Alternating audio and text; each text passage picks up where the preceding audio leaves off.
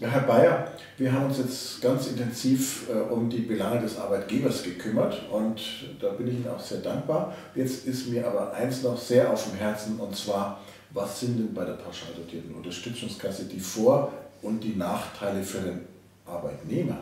Ja, Vor- und Nachteile für den Arbeitnehmer. Also Nachteile für den Arbeitnehmer kann ich beim besten Willen nicht erkennen. Der Arbeitnehmer hat deutlich höhere Zusagen, der Arbeitnehmer hat deutlich höhere Renten und der Arbeitnehmer hat letztendlich einen hundertprozentigen Insolvenzschutz durch den PSV, den Pensionssicherungsverein, rückverbürgt auch noch durch Bundesrepublik Deutschland. Also den Arbeitnehmer kann hier nichts passieren. Selbst die Dynamisierung von 1%, wie wir es in der Regel einbauen, ist durch den Pensionssicherungsverein gesichert. Die Vorteile für den Arbeitgeber die sind, oder für den Arbeitnehmer, Entschuldigung, die sind ganz, äh, sind ganz klar. Wir haben erstens mal, das ist ganz wesentlich, eine Verzinsung vom ersten Euro an.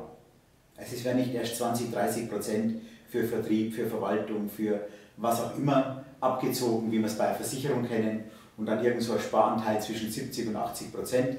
Keiner kennt ihn genau, kann man vielleicht rückwärts errechnen, aber keiner kennt ihn erst einmal genau, wird verzinst. Das ist mal ein ganz wesentlicher Faktor. Vor kurzem erst Artikel ähm, in einer renommierten Zeitung, 14,5 Jahre im Durchschnitt, manchmal sogar 20 Jahre bis das eingezahlte Kapital vorhanden ist bei der Versicherung. Das ist alles, was nicht hinnehmbar ist für einen Arbeitnehmer. Ja, die Zinsen, die sind in der Regel auch höher, nicht nur auf, äh, mit 2,5, 2,75, 3,25 Prozent liegen wir hier bezogen auf das eingezahlte Kapital immer deutlich höher. Ja, ein weiterer Vorteil ganz allgemein, wir haben ja die Möglichkeit der Kapitalabfindung, die Möglichkeit der Rente, je nachdem, was der Arbeitgeber zulässt. Kapitalabfindung mit der Fünftlerregelung steuerlich absolut begünstigt, Renten durch die wesentlich faireren Rentenleistungen, deutlich höhere Renten als bei einer Versicherungsgesellschaft. In der Regel haben wir so die doppelten Renten, was hochinteressant ist. Ja, der Mitarbeiter kann praktisch unbeschränkt umwandeln, auch ältere Mitarbeiter noch in unbeschränkter Höhe. Das sind also viele Vorteile, auch variable Einmalbestandteile, die umgewandelt werden können.